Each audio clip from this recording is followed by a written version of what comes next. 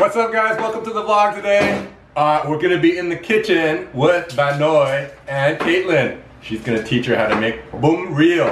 Woo! It's gonna be good. You guys don't wanna miss this episode.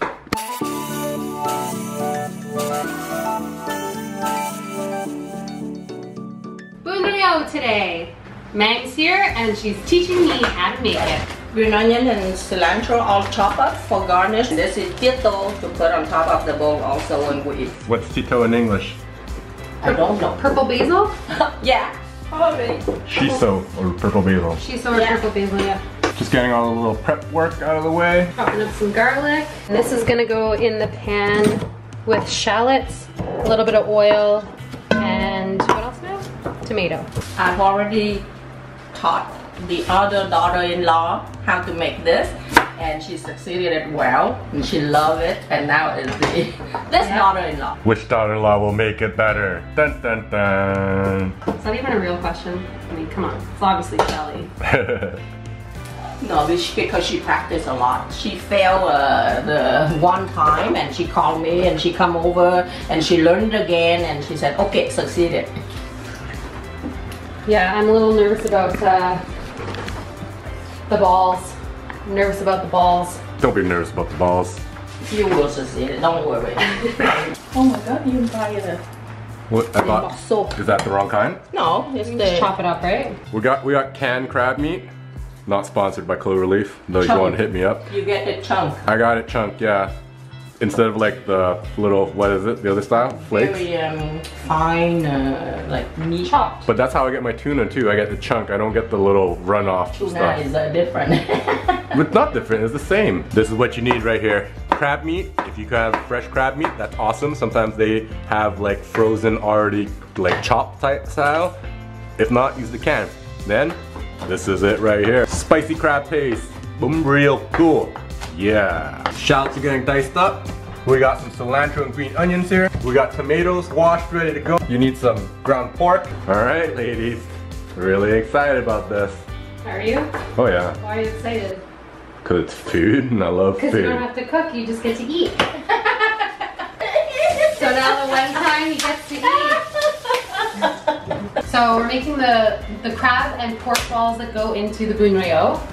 So we're gonna take one package of the pork, minced pork, put it in, mm-hmm. and then two cans of the crab, but not all the liquid, right? Not all the liquid. Keep it. It's good for Keep it. to go in the broth. Okay. So we're gonna keep the, the juice out of the crab meat and leave a little bit in, like that. Yeah. Okay. This goes in. You remember when I told uh, Yeah. Shelly? Because that was Shelly's mistake and Yeah, then balls fell too much, apart. yeah. We're gonna do one can, one can of the spicy crab paste. Boop, boop, boop. Nice. No spoon necessary. And then three eggs into that same bowl. And the You succeed because of this. Wow. Then we're gonna add in lots of ground pepper. Some people will use also uh, dry shrimp and they soak it and they grind it and they mix it in there also. This is up to you, your taste. One heaping tablespoon of cornstarch or potato starch into that mixture.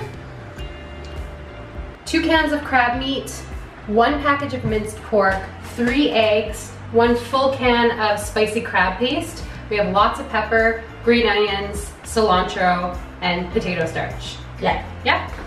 So then we're gonna mix.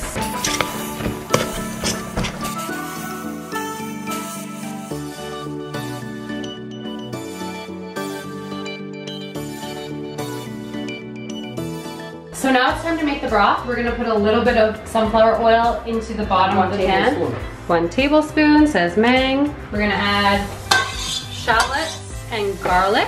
Now that the shallots and the garlic has like a fragrance to it, we're going to add the tomatoes. Wow. The tomatoes almost give the garlic and shallots a deglaze. Okay, so now do the broth in. Now, the broth in. You can make the broth with uh, bones and and uh, dry shrimp in advance. But this is in the splurge moment, so we're using chicken broth. Yep. It works. So adding two and a half ounces. Yeah. Like my mom said, if you're gonna do like your pork bone and maybe like shrimp shell broth, then you have that going for like four or five hours or whatever. But we can do that on the next show. Today, it's all about the balls. What are you saying? So easy? It's so easy. I'm so excited. I'm literally gonna be making this like once a week. Seriously. We'll see. Maybe not once a week, maybe once every two weeks. So I've added two and a half cartons of the chicken broth. I'm gonna add the juice of the crab from the canned crab that I saved. And then I'm gonna add one cup of water. Now we wait until it come to a boil, and then we'll put the mixture of the meat and crab in. Oh, who's a cute little puppy dog? Who's my little buddy boy? Are you little monkey butt? Are you little monkey butt? Yeah. Yeah. Yeah. Guys, I, I still love you even though you left me and went to Vietnam for a year. The original lip talker. I'm the original lip talker. okay, okay, okay. Let's make some crab balls. Okay, so we have the crab mix by the broth that we just made. So we're gonna form, Just drop it spoon by spoonful Ah. like this. ooh. Okay, so Gen- Gently. gently drop like this big, Yeah. And don't stir it, just leave it like that. Yeah. And it has to be gentle boy, or else it's gonna break all apart. Okay. I've got the touch, amen? Yeah, And I was just taught another method. Scoop it off the spoon That's right. into the broth. Form. And scoop.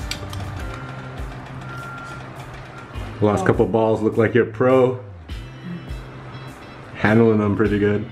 Had a little scare there. There was a lot of green onions floating to the top, which may have meant that the balls weren't sticking together, but Meg just checked one and it looks like we're okay.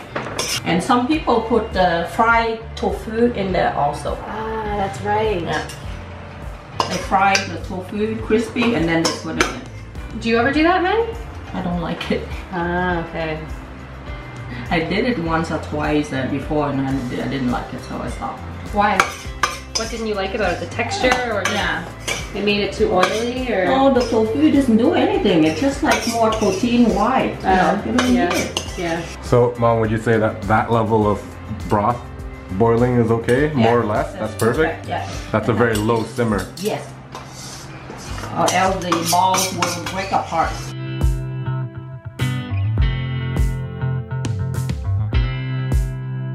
I'm gonna try it.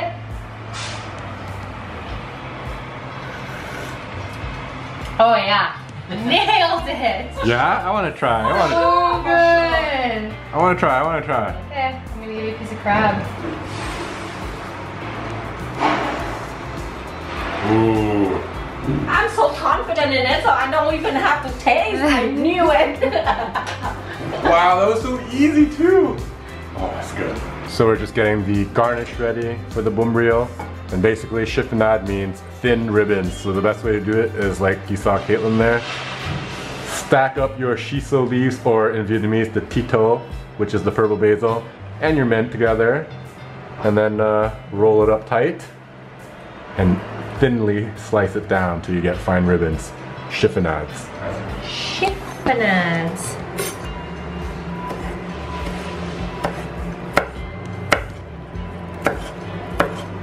Now I'm gonna assemble a bowl for Brian, so I'll put about as much as I think he will probably eat, which is that. Look at that broth.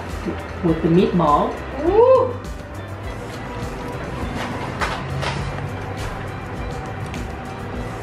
Nice. Nice, delicious, well-formed, stuck together meatballs. Shelly, check it out. Oh, oh, that's nice. Take notes. Wow. Now that we have the boon and the balls and the broth and the tomatoes, everything in there, we're gonna add the accoutrements, which is cilantro, green onions, lettuce. Yeah. One end, this and one one corner, One corner. and this and another corner. then this in another corner. And a squeeze of lime. And then of course, sriracha. Uh, yikes. Not so bad. And there you have it. Bowl of bun rieu taught by Mang to her daughter-in-law. You wanted to say favorite dollar, didn't you? Her Look at that bowl. Smells delicious. Wow, wow, wow, wow, wow, wow. It looked just like I made it. Yay! Oh, did you guys hear that? It looked just like I made it. That's compliments right there. Hmm. Oh yeah. Oh wow. That tastes. Wow, babe, killed it. Ooh. Okay? Hmm. You nailed it, uh, Caitlin. Yay! Let's try one of these meatballs right here, crab meatballs. Yum, look at that amazingness. Mmm, Tasty? tasty. Yeah. Um, my mom said it's supposed to be firm like a meatball, but not like an Italian meatball, you know, like that thick. It's gotta be a little loose and light and airy to it, which it is. So wow, so good. I nailed it. Oh my god. Yay! Hmm. Oh man. Wow. It's piping hot. It's It's hot. It's hot. Check out this meatball. It's like, like it's so good with a chunk of crab in it. I love the crab pieces. So flavorful. Nailed A, it. A plus?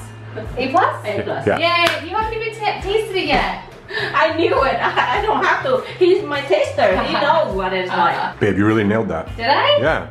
It was so easy too. It looked really easy. No, it was really hard. It was super hard and I still nailed it, so. Next time we're doing it with homemade broth though, right? Yes, I'm gonna make bone broth from scratch and I'll take you guys along for the ride on Insta. Follow us at Pho Your Eyes fam. Okay guys, thank you for joining us for Cooking with Benoit and Caitlin. Bun Rieu episode. If you liked it, leave us a thumbs up, a comment, a share, a like, if you haven't subscribed already. What are you waiting for? Please subscribe. Thanks for coming along guys. This has been Pho Your Eyes Only. only.